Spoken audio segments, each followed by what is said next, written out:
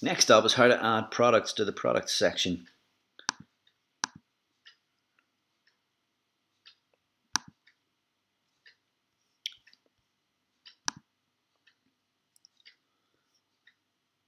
You can see there are various products with different layouts. You can choose one of the products here.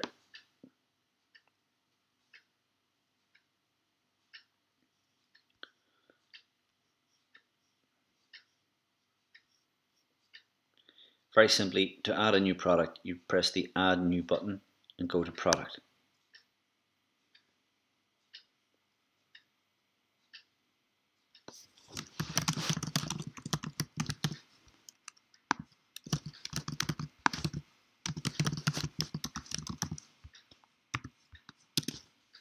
you would enter all the text in this area, possibly two to three hundred words of text.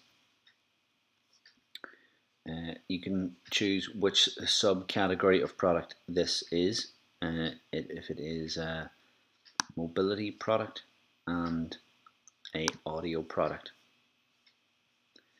Turn the sidebar off and select the featured image.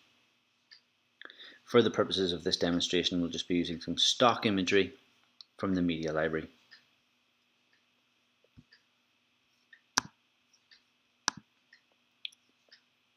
If there were multiple images for this product, you can add this in the product gallery by selecting Add Product Gallery, scrolling in the media library or uploading new content and selecting numerous photos.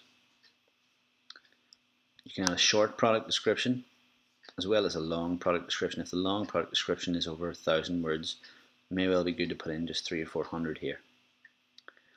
You can add a price.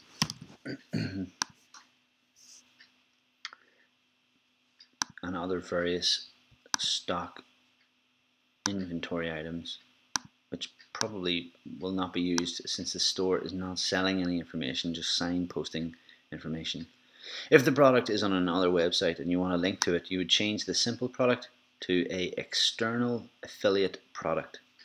At this point you can paste in the URL.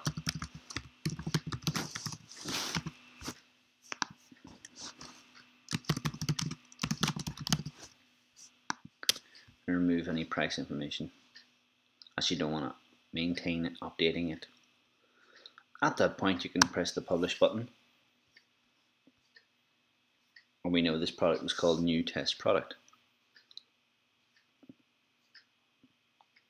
When you visit the site after seeing the product published notification, you can view the products page and see the new test product here.